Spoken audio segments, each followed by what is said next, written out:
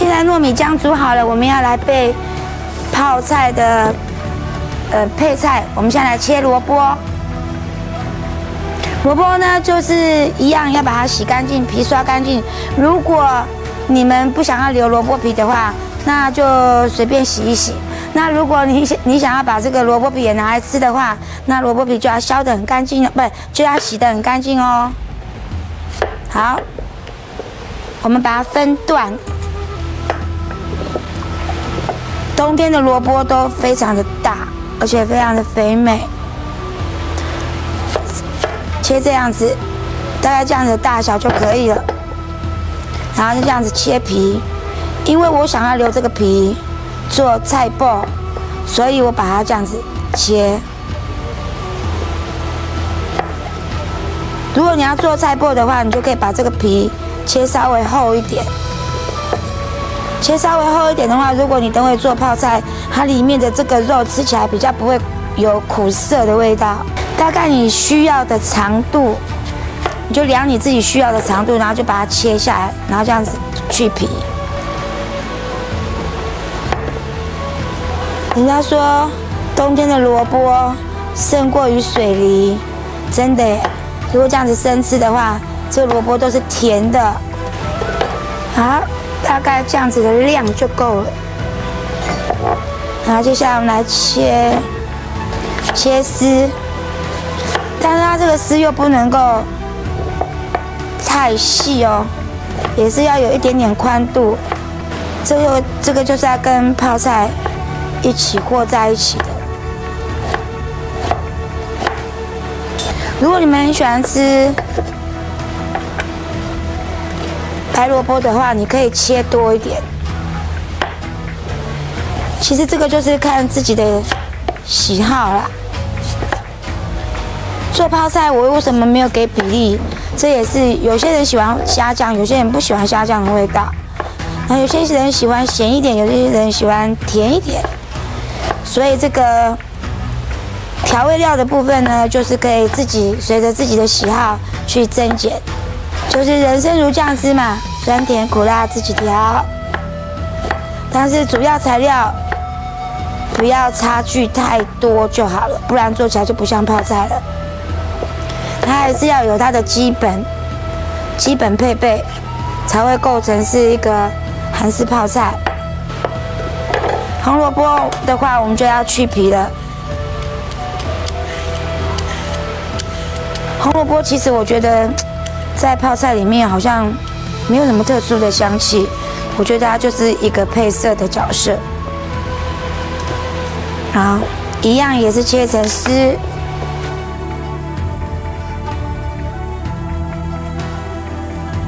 好，切完红色的红萝卜，我们现在来切韭菜。韭菜有些人会切那么短，有些人切这么长，就看自己喜欢。我喜欢长一点，所以就切这样子一段的。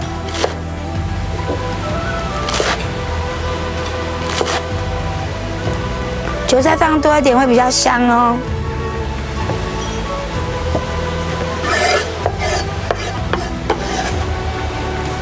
好，这个是等会要跟白菜的大白菜拌在一起的。然后呢，韭菜切完，我们来切一点点葱。这个葱可要可不要。看自己哦。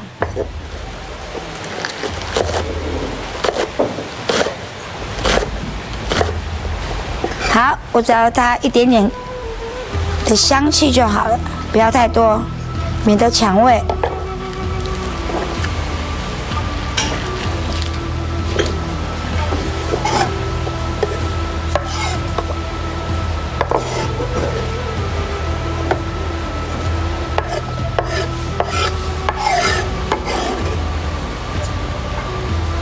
接下来我们要来切水梨，还有苹果，还有洋葱，这三个要用调理机把它全部打在一起，变成泥的，然后再和和在一起，然后之后我们调味之后呢，就可以开始腌喽。洋葱喜欢一颗半颗，随自己的意喽。水梨跟苹果在这个腌泡菜里面还蛮重要的。其实有时候我也会加一小块的凤梨，它会让泡菜发酵的更快。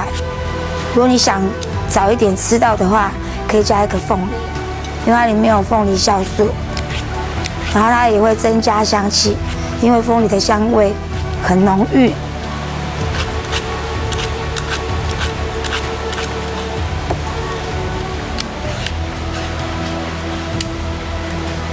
如果你的水果放的很多的话，等会你的糖浆就可以不用加的那么多。做韩式泡菜，你一定要准备两个东西，就是姜末跟蒜末。然后你做，你留着，你如果备有姜末跟蒜末的时候，你要做任何的韩式泡菜会非常轻松，因为不外乎就是这些东西。其实韩国的饮食文化是。很简单的，他们的饮食比较没有那么多的过度的烹调，所以会比较健康。那因为这些都是要切成、打成、打成泥的，所以我们先把改刀改小一点，让调理机比较好搅拌。我们这旁边刚好备了一个。调理机，我们就直接把它装进来就可以了。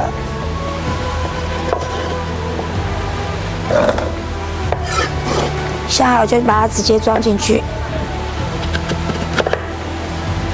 其实做韩式泡菜，只是它备料有一点点麻烦，只是因为它的所需要的东西真的很多，不然它怎么可以变成一个国家的？在代表一个国家性的食物，但它做起来其实一点都不不会难，不会难啊。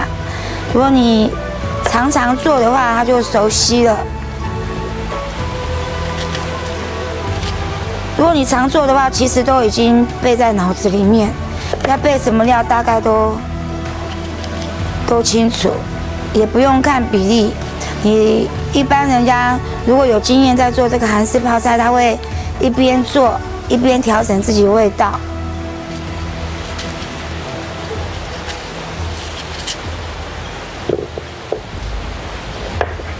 像有些人吃韩式泡菜，他喜欢颜色看起来很红，然后比较漂亮。那有些人喜欢辣一点的，然后有的有有的喜欢放细的辣椒粉，有些人喜欢放粗的，然后有些人。喜欢各一半。如果你喜欢颜色很深，但是又不要那么辣的，你可以你可以去买辣椒粉的时候，特别跟那个老板讲一下，他会帮你注意，他会跟你讲要买哪一个，买哪一个的牌子的辣椒粉比较不会那么辣。水梨的部分呢，一颗或者半颗。也是自己决定哦，因为水梨有分甜与不甜。我看今天的，如果很甜的话，我们就加半颗。嗯，超甜，好甜哦。所以我们半颗就好了，它放太多会太甜。有一次我做泡菜的时候。我放了两个水梨，都还没有很甜，那就是因为本身水梨的那个甜度不够。可是你也不能打太多，因为怕它会太湿。太湿的话，等会那个辣椒泥不够的时候，没有办法泡菜会扒不上去。